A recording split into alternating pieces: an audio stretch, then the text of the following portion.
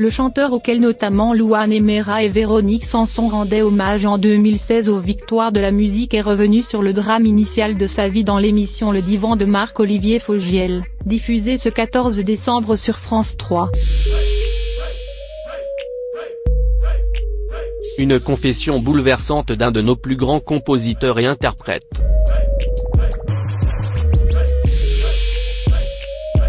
Toute une génération est marquée par les chansons de William Scheller qui a par ailleurs écrit pour Françoise Hardy ou Nicoletta. Des tubes comme Oh.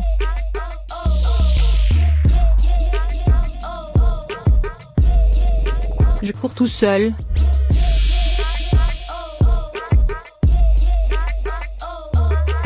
Dans un vieux rock'n'roll ou encore un homme heureux, nous trotte toujours dans la tête. Point mais si l'artiste est connu de tous, l'homme, lui, a longtemps préféré le secret. Question d'éducation, catholique, sans doute, comme il le confie à Marc-Olivier Fogiel dans le divan, diffusé vendredi 14 décembre, sur France 3. Avant de dérouler son histoire pas comme les autres. Ma vie est une erreur, lâche William Scheller qui semble être sorti de ses problèmes de santé.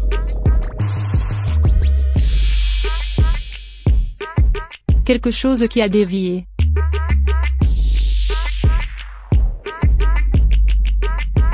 Ma mère m'a kidnappé.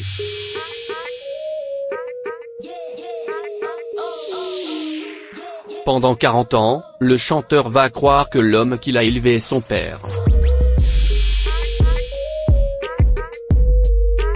Il n'en est rien.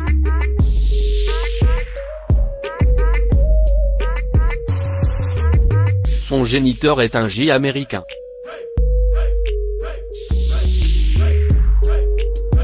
Il verra son enfant deux ou trois jours avant de partir se faire démobiliser et divorcer de sa première épouse.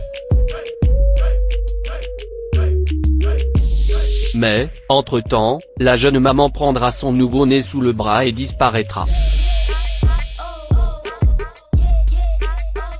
Suivra pour William Scheller, comme il le confie à Mar-Olivier Fogiel, une vie sentimentale chaotique.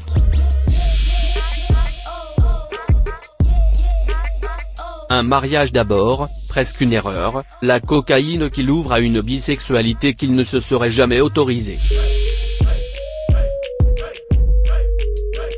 Pendant toutes ces années, le chanteur qui se définit désormais comme asexuel, reste attaché à une mère qui s'est comportée avec lui comme une mère maquerelle, lui piquant tout ce qu'il gagnait. Et ce jusqu'à ces derniers jours, en 1996.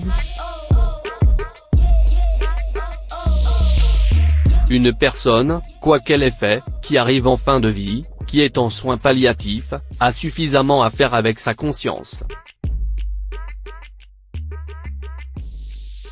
Ce n'est pas le moment de venir faire des reproches. Pendant 15 jours, William Scheller restera donc aux côtés de celle qui lui a donné la vie.